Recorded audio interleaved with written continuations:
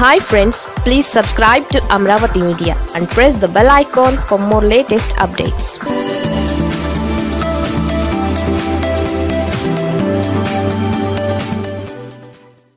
doctor Sudhakar కేసులో కొత్త twist కొత్త అంశాన్ని తెరపైకి తెచ్చిన సిబిఐ రెండు తెలుగు రాష్ట్రాల్లో సంచలనం సృష్టించిన విశాఖపట్నం జిల్లా నర్సీపట్నం ప్రభుత్వ ఆసుపత్రి ఎనస్థీషియనిస్ట్ డాక్టర్ సుధాకర్ వ్యవహారం మరోసారి వార్తల్లోకి ఎక్కింది.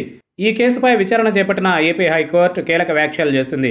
ఈ కేసులో కుట్రకోణం ఉందని దీనిని మరింత లోతుగా దర్యాప్తు చేయడానికి అనుమతి ఇవ్వాలంటూ సిబిఐ అధికారులు చేసిన విజ్ఞప్తికి ఏపీ హైకోర్టు సానుకూలంగా స్పందించింది. మరింత లోతుగా దర్యాప్తు చేయడానికి సిబిఐకి వీలు కల్పించింది. ఈ కేసుపై తదుపరి విచారణను వచ్చే నెల పదహారవ తేదీకి వాయిదా వేసింది. నర్సీపట్నం డాక్టర్ సుధాకర్ కేసు వ్యవహారం ఎంతవరకు వచ్చిందనే విషయంపై ఏపీ హైకోర్టు ఆరా తీసింది. డాక్టర్ సుధాకర్ను అరెస్ట్ చేయడం ఆయనపై విషప్రయోగం జరిగిందంటూ వచ్చిన వార్తలపై హైకోర్టు సిబిఐ విచారణకు ఆదేశించిన విషయం తెలిసిందే. ఎనిమిది వారాల్లోగా విచారణను పూర్తి చేయాలని సమగ్ర నివేదికను అందజేయాలంటూ గడువు విధించింది. ఈ నేపథ్యంలో కేసు పురోగతిపై హైకోర్టు ఆరా తీసింది. దర్యాప్తు ఎక్కడి దాకా వచ్చిందో వివరించాలంటూ అధికారులను ఆదేశించింది.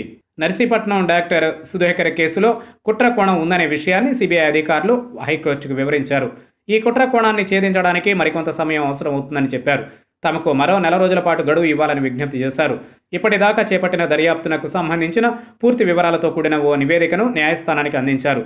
తమకు గడువు కావాలంటూ సిబిఐ అధికారులు చేసిన వాదనలతో న్యాయస్థానం ఏకీభవించింది. గడువు ఇవ్వడానికి అంగీకరించింది. వచ్చే నెల పదకొండవ తేదీ నాటికి సమగ్ర నివేదికను అందజేయాలని ఆదేశించింది. తదుపరి విచారణను వచ్చే నెల పదహారవ తేదీకి వాయిదా వేసింది. కరోనా వ్యాప్తి చెందుతోన్న ప్రస్తుత పరిస్థితుల్లో ప్రభుత్వ ఆసుపత్రిలో పనిచేసే డాక్టర్లు నర్సులు ఇతర ఫ్రంట్లైన్ వర్కర్లకు ప్రభుత్వం ఎన్ నైంటీ ఫైవ్ మాస్కులు కానీ పర్సనల్ ప్రొటెక్టివ్ కిట్లను కానీ అందించడం లేదంటూ ఇది వరకు డాక్టర్ సుధాకర్ విమర్శించిన విషయం తెలిసిందే. దీనిని తీవ్రంగా పరిగణించిన ప్రభుత్వం ఆయనను సస్పెండ్ చేసింది. కొద్ది రోజుల తరువాత ఆయన నడి రోడ్డు మీద కనిపించారు. ఆయనను పోలీసులు అరెస్ట్ చేశారు. సుధాకర్ మానసిక పరిస్థితి బాగోలేదంటూ విశాఖపట్నం మానసిక వైద్య ఆసుపత్రికి తరలించారు. అక్కడ ఆయనపై సరైన రీతిలో చికిత్స అందించట్లేదంటూ కుటుంబ సభ్యులు ఆందోళన వ్యక్తం చేయగా ఏపీ హైకోర్టు డాక్టర్ను తప్పించింది. మరో క్రొత్త డాక్టర్కు డాక్టర్ సుధాకర్కు చికిత్స అందించే బాధ్యతలను అప్పగించింది.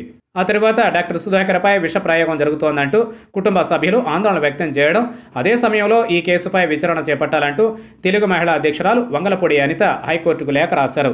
దీనితో ఏపీ హైకోర్టు ఈ కేసును సిబిఐకి అప్పగించింది. ఎనిమిది వారాల్లోగా దర్యాప్తు ముగించాలంటూ గడువు విధించింది.